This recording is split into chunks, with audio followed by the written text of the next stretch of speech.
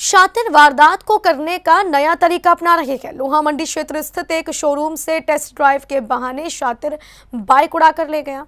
पिता बनाकर ले गए चार विक्रेता से जानकारी के बाद शातिर को बाइक के साथ गिरफ़्तार कर लिया है। इस मामले में शोरूम मालिक ने थाने पर मुकदमा लिखाया है। अपराधी वारदात के लिए नए नए तरीके अपना रहे हैं। विश्वास में लेकर लोगों को शिकार बनाया जा रहा है। लोहा मंडी क्षेत्र स्थित शोरूम में एक युवक पहुँचा, एक लाख रुपए की बाइक पसंद कर ली। इसके बाद दूसरे दिन पिता को लेकर आने की बात कहकर शोरूम से चला गया।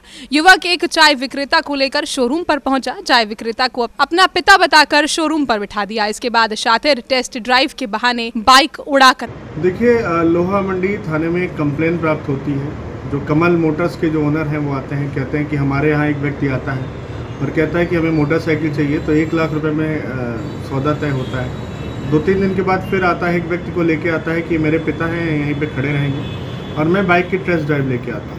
शातिर काफ़ी समय बाद लौटकर नहीं आया। इसके बाद शोरूम के कर्मचारियों ने पिता बनकर आए चाय विक्रेता से पूछा लेकिन वह कोई संतोषजनक जवाब नहीं दे सका। गहनता से पूछताछ करने पर चाय विक्रेता ने शोरूम कर्मचारियों को बताया कि जो युवक बाइक लेकर गया है वह उसका बेटा नहीं है। जब व्यक्ति बाइक की टेस्ट ड्राइव लेके जाता है काफ़ी देर के बाद लौटता नहीं है तो उस, उसके जो पिता है उनसे पूछा जाता है कि आपका बेटा कहाँ है मेरी बाइक वापस नहीं आई है। तो इस पर पता चलता है वह व्यक्ति चाय वाला है, उसके यहाँ चाय पीने के लिए दूसरा व्यक्ति आता था और उसको ज़बरदस्ती झूठा बना के लेके आया है तो इस पर तुरंत पुलिस के द्वारा रिपोर्ट दर्ज की जाती है। बाद में पता चलता है इस व्यक्ति का नाम साहिल है, लोहा मंडी का रहने वाला है।